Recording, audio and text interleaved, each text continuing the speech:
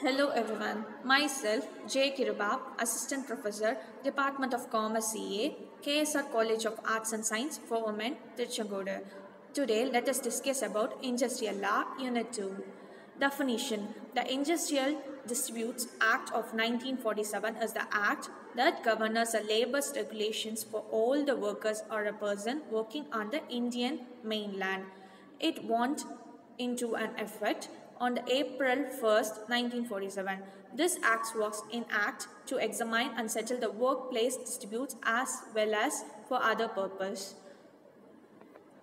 Authority The Industrial Disputes Acts provide for the constitution of various authorities such as work committees, conciliations offer, conciliation board, court of injustice, labor court, tribunals, national tribunal, to promote the measure for securing and preserving.